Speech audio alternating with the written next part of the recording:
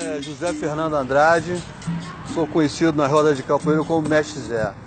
A capoeira, ela é um instrumento que dignifica o ser humano, porque ela traz o melhor que o ser humano pode, pode ter: a coragem, a disciplina, a educação, a técnica, a eficiência e a amizade, o respeito. É uma forma de vida, né? É um- uma maneira que eu descobri para me viver é, e ser feliz. Capoeira pra mim, eu acho que a maioria dos mestres que entende a capoeira como eu entendo vai dizer que é uma filosofia de vida, cara. Entendeu? Que a capoeira é, é- é o, é o jeito mais fácil de você se tornar cidadão.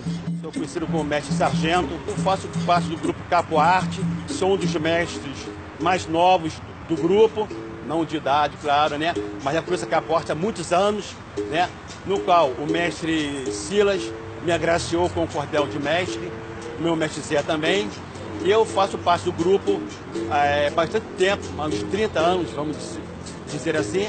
E sou responsável pelo núcleo de Vista Alegre.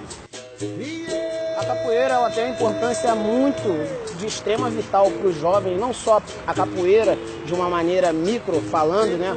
A capoeira engloba uma cultura imensa, né? Que vem das danças populares e toda a, a, a cultura da história no modo geral que a gente tem que levar em consideração não só a prática da capoeira. Quando a gente fala de prática de capoeira, a gente fala de grupos sociais, a gente fala de disciplina, a gente fala de hierarquia que se existe dentro da capoeira e tudo isso é, é manifestado através das aulas, através de conselhos. Mandinga, ó bendito africano, africano. Eu tenho 23 anos de capoeira, tá?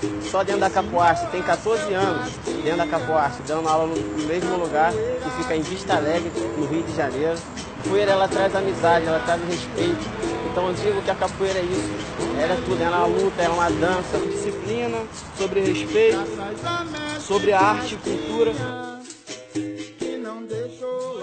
É capoeira, é capoeira. Isso aqui é capoeira. É capoeira. Isso aqui é capoeira. É capoeira. É mestre mãe.